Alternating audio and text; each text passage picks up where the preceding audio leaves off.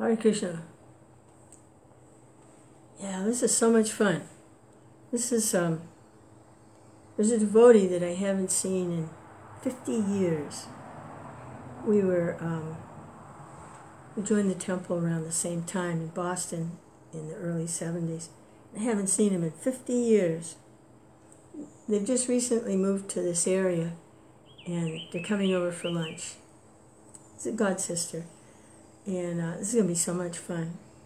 So should be over within the next 15 to 20 minutes.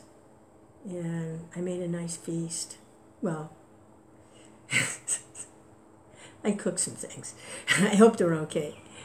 Hare Krishna, Hare Krishna, Krishna Krishna, Hare Hare, Hare Rama, Hare Rama. So we'll be reestablishing a relationship, hopefully a friendship.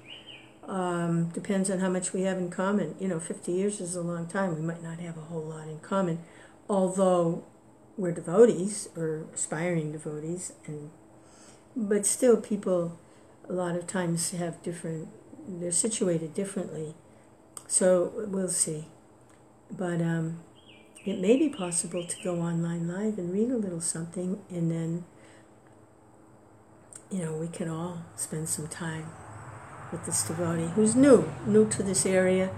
And I remember what it was. I moved here three years ago, and I remember it, it, it's taking a long time to kind of um,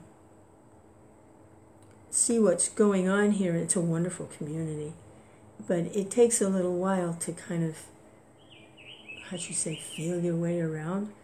Uh, who's who and what's going on, especially if you've been away for a while. So I want to make this a nice welcome. And uh, so they'll be here in a few minutes. Hare Krishna.